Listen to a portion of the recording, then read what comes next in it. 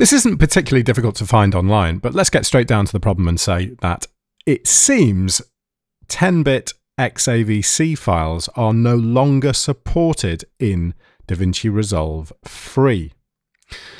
And that's a real shame. It's a change that they've made from 14, and I noticed that during all the beta stages of 15, my uh, XAVC L 10 bit files were coming up as media offline. And to be honest, I thought that was just because they hadn't added support for it yet, you know, in the beta versions. However, last week or so, they released the final version of 15, which is on the screen here, and still no support. Let's just quickly show you exactly what I mean. So I'm going to add some media into here. Um, yeah, don't worry about that. All right, we've got different clips in here. F firstly, I have um, a uh, an XAVCL 8-bit file. And you can see there, we've got a thumbnail that I'm able to scrub through. And here we have an XAVCS HD 8-bit file. So this is an actually an MP4 file. It's um, standard XAVCS, doesn't support 10-bit. And that scrubs through fine. You can see that there on the uh, thumbnail.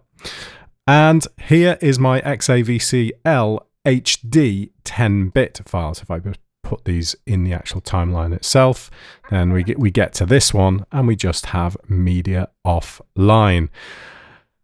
Oddly, ProRes, 10 bits, fine. DNX HR, which is, I think, 4K in this case, 10 bits, absolutely fine. No problems there at all. So it's a bit of a strange move by Blackmagic, I think. Uh, they're clearly trying to push people to the studio version, which, don't get me wrong, is a very reasonable product. And as a result of this, um, I have now invested in the studio version, so this has obviously worked perfectly for them in that respect.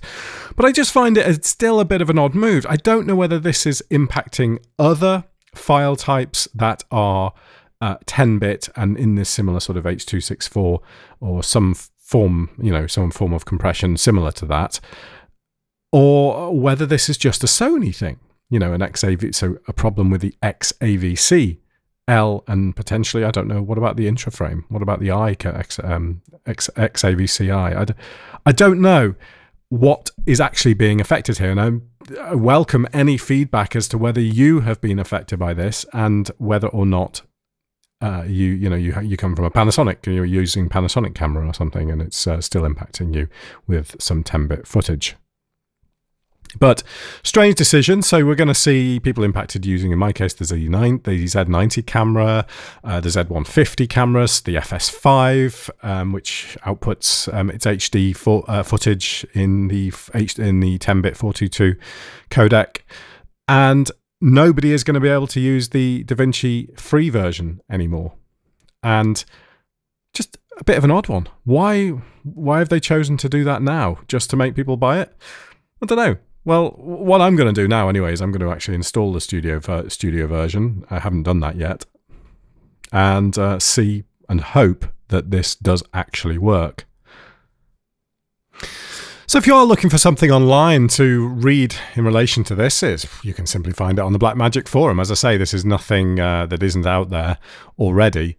Broken Sony MXF files, and um, there's some question: Will it work? Won't it work? Not sure. Not sure. Send me a sample. Blah blah blah blah blah. And we do get to a point that uh, there is some confirmation from someone called Dwaine Maggart. I don't know who that is who says only Resolve Studio 15 can decode 10-bit Sony MXF files. Resolve 15 can decode 8-bit Sony MXF files. Fantastic. So, you know, some proper confirmation there from Blackmagic Design DaVinci support saying that this is the case.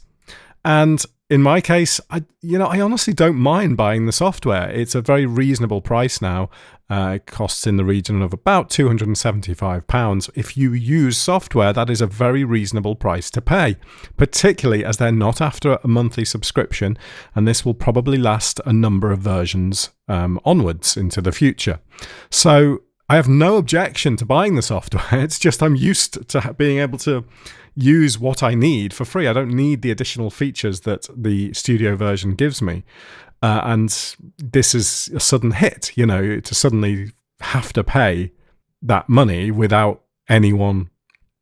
I suppose I don't know. They more, maybe they should have promoted it or just let people know that this was the case a bit more. I, I don't know. It's just a bit annoying, isn't it? Really. Anyway, there you go. That's the uh, thread that covers that one. If I go to here, I have now installed this. So I'm going to um, enter my activation key now. And it's the first time I've ever done this. Right, let's give it a go.